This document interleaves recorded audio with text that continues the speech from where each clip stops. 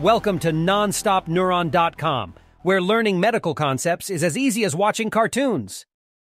In this video, we will see the role of the lymphatics in the circulatory system. Let's get started. In tissues, we have cells, interstitium, and capillaries. Now in the video on filtration across capillary, we have seen that sum of all the Starling forces at the arteriolar end causes net fluid filtration.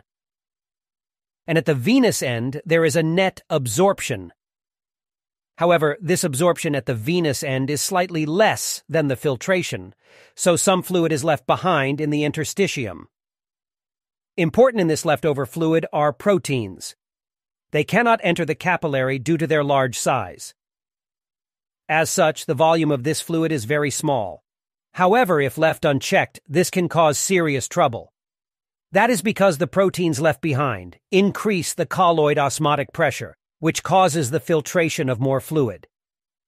This will keep on increasing interstitial fluid volume and pressure, resulting in edema. But thanks to the lymphatic system, this does not happen. It solves the problem by absorbing all the remaining traces of the filtered fluid, including the proteins. The lymphatic system starts with terminal lymphatic capillary, or initial lymphatic. At one end, they are close. At the other end, they merge to form progressively larger lymphatic channels, called collecting lymphatics.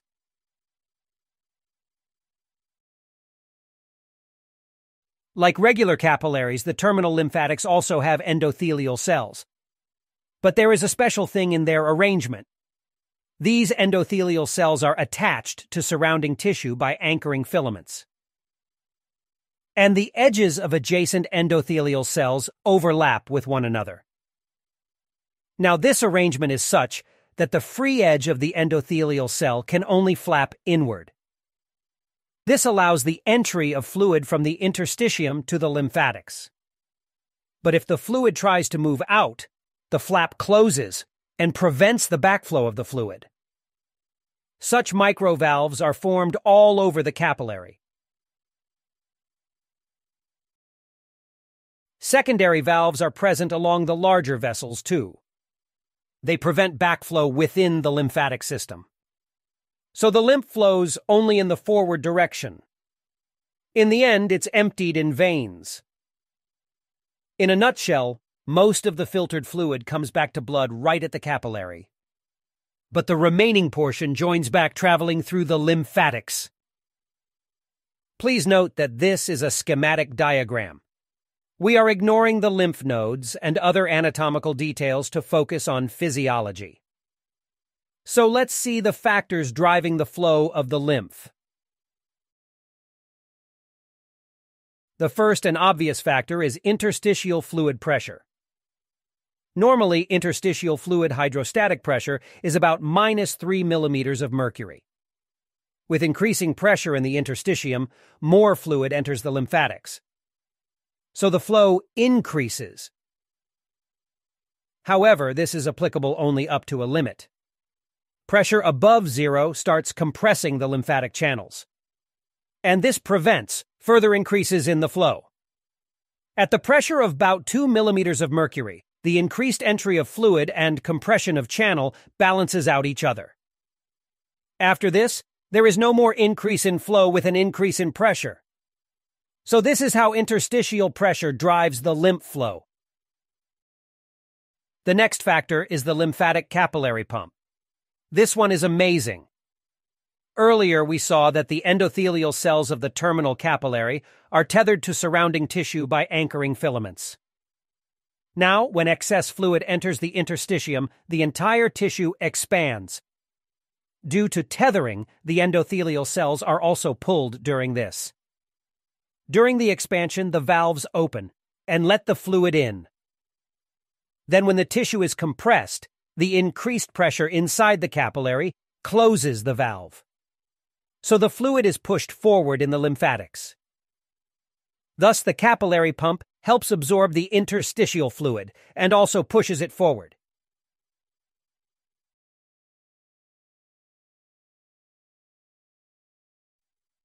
Seeing this, the collecting lymphatics prayed to God and said, Oh God, I also want to do the pumping and move the lymphatic fluid forward. So God granted them special smooth muscles. As the collecting lymphatic or larger lymphatic vessels receive fluid, it gets stretched. Upon getting stretched, the smooth muscles automatically start contracting, so the fluid is pumped forward. After some time, the next segment also contracts in the same fashion. Because of the secondary valves within the channel, the lymph cannot flow back during this. This is how the lymph is propelled actively. Apart from this, there is also passive pumping, when there is movement in the surrounding tissue.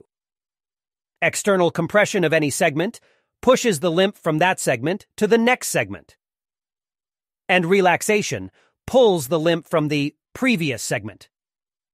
And don't forget to enjoy how valves prevent backflow during this. Such intermittent compressions can come from multiple sources, like contraction of nearby skeletal muscle, pulsation of the nearby artery, respiratory movement, intestinal contraction, voluntary movement of body parts, and even compression of tissue by an object outside the body. So this was all about the pumping. Finally, let's talk about some additional roles that the lymphatic system plays in our body. One is in contribution to immunity by clearing bacteria. Bacteria from tissues are carried to lymph nodes through lymphatics and are destroyed there. And second role is in holding the body tissues together. See, the drainage of fluid by lymphatics creates negative pressure in the interstitium. This vacuum holds the nearby tissues together. It's just like how a vacuum inside a plunger holds it tight on a glass. This is especially important where two tissues are sliding over one another, and the connective tissue between them is not strong enough to hold them together. For example, skin sliding over the back of your hand.